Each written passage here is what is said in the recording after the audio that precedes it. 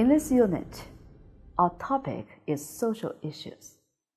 We will focus on poverty, theories, homelessness, and the American dream.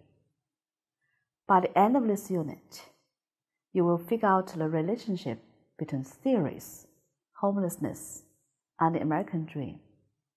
Identify the global structure of an academic essay and retell the stories based on keywords. What is poverty? Now let's go to the text. Poverty, Theories, Homelessness, and the American Dream. In 2010, about 46.2 million people were considered poor.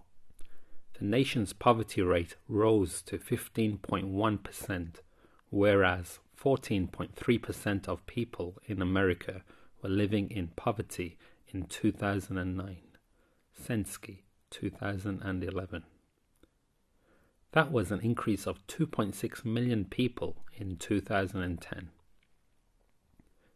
In the United States, the federal poverty line, an absolute measure of annual income, is frequently used to determine who is categorized as poor. Ferris and Ump, Stein, 2008, 2010.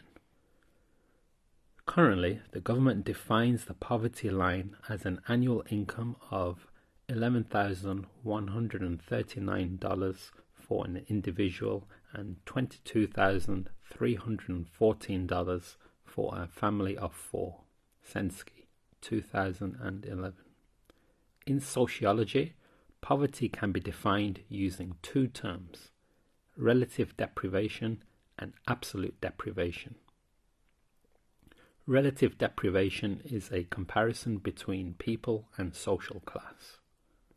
With relative deprivation, people are considered poor if their standard of living is less than that of other members of society. Stein, 2006. Absolute deprivation is an objective measure of poverty, whereby people are considered poor because he or she is incapable to meet minimal fundamentals such as food, shelter, healthcare, and material objects. Is it difficult to participate in society for those who live in an impoverished life? Many would say that people living in poverty are behind in our cultural movement and that they lack the essentials to be on an equal level with the rest of society. Many theories have been applied to the issue of poverty, with controversy on how and whether the poverty problem should be addressed. Homelessness and the idea of the American dream also have an influence on poverty. All these are to be addressed in this essay. Oscar Lewis, 1959, proposed the culture of poverty theory, which argues that the poor are not simply lacking resources but also have a unique value system. The people in the culture of poverty have a strong feeling of marginality, of helplessness, of dependency, of not belonging, of inferiority, and of personal unworthiness. Stein, 2006, believes it is an entrenched attitude that can develop among poor communities and lead the poor to accept their fate rather than attempt to improve their lot. The theory was later adopted by social scientists and used for American poverty, specifically in inner cities.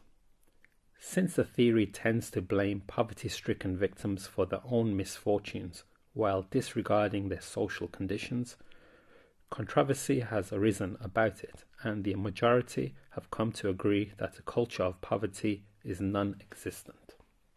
Another reason for the controversy is the just world hypothesis, which refers to people's tendency to believe that the world is just and that people get what they deserve. People want to believe that the world, society as a whole, is a fair place to achieve lifetime goals and that people who contradict the belief ask for their misfortunes. When faced with poverty, many believers of the hypothesis become uncaring and disinterested. He or she feels less of a need to start in ways to change society or to lessen the situations of the poor. Another theory that relates to poverty is the conflict theory. Conflict theory is a paradigm that sees social conflict as the basis of society and social change and emphasizes a materialistic view of society, a critical view of the status quo, and a dynamic model of historical change. Stein, 2006. The theory was originally advanced by Karl Marx and was later adapted and further developed by other theorists such as Max Weber.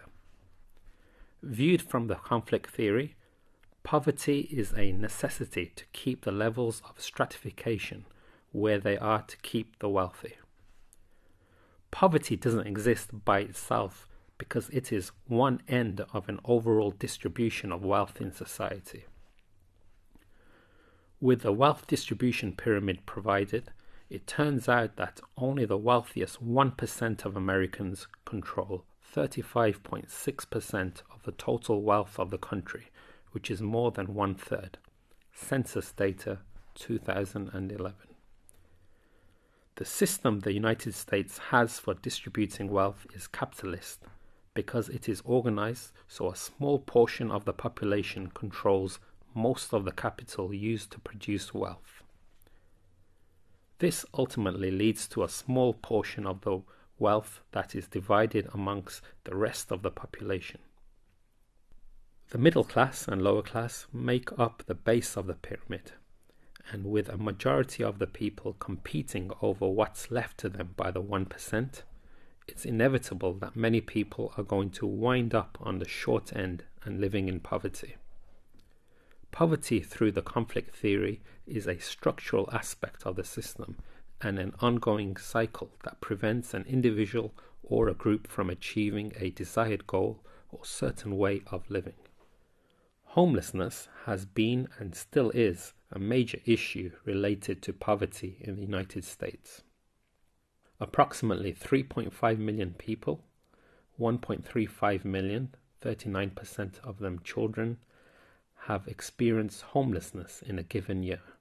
National Coalition for the Homeless, 2009. Even with this statistic, homelessness is impossible to measure with 100% accuracy. The reason for this is because the homeless remain invisible. The homeless are removed from public view with police escort in certain cases. Another reason the homeless are invisible to a majority of us is due to the discomfort of our feelings.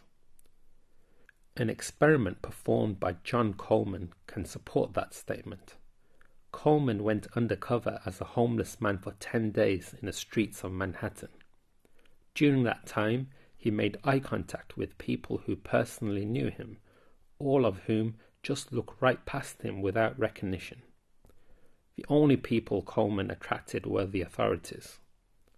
Homelessness, through a sociological perspective, can be the result of social stratification, which is a division of society into groups arranged in a social hierarchy.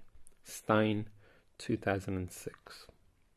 Having a sociological perspective towards homelessness and overall property will give one the skill to think of possible solutions that concentrate on huge social changes.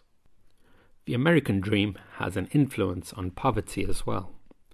The American dream suggests that every individual has the possibility of success through hard labor. This statement suggests that impoverished people are lazy, since the American dream is only achievable through effort. The American dream also promotes that everyone has the potential to have a successful and happy life. One issue with the American dream is that it does not match reality since it is more of an ideology. The American dream is nothing more than a belief that explains and justifies some sort of social arrangement, in this case, America's social class hierarchy. Stein, 2006.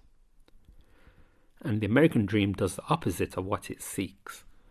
It encourages consumerism and valorizes material wealth, which ultimately leaves Americans in debt. With Americans going more and more into debt, there is an increasingly unlikely escape from their position of poverty. This essay describes the theories accounting for poverty and the factors that affect poverty. It shows that poverty is viewed differently in different theories and is influenced by homelessness and the idea of the American dream. As a complicated issue in society, it is necessary to explore further what causes poverty and what factors affect it in society.